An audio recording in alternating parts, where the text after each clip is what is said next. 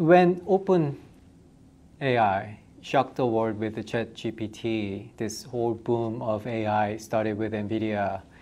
Um, but not a lot of people realize that NVIDIA cannot make their chips without the supply chain in Taiwan uh, plus Korea.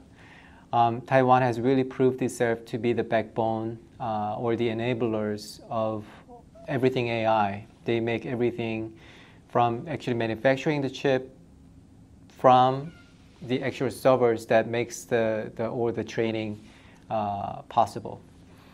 Um, and it's really natural progression for them because they have been long been dominating the general server space, PC and smartphones um, as well.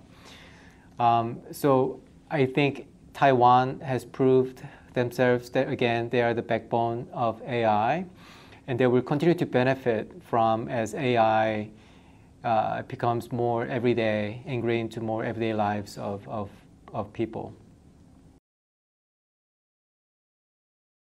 Taiwan has always been the leader when it comes to manufacturing uh, know-how. They know how to make everything from toys to PCs and smartphones.